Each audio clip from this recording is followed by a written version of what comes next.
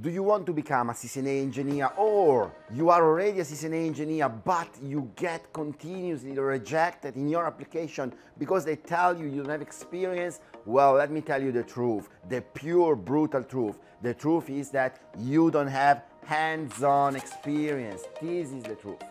And to solve this problem, there is only one way. You need to do the configuration.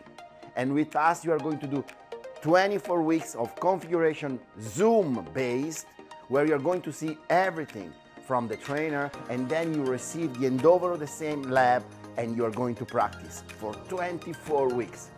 At the end of this journey, you are a master and you are a solid CCNA engineer and you can arrive to CCIE level. So this is the point. You need to be the player if you want to win. And with us, you're going to win. Thanks.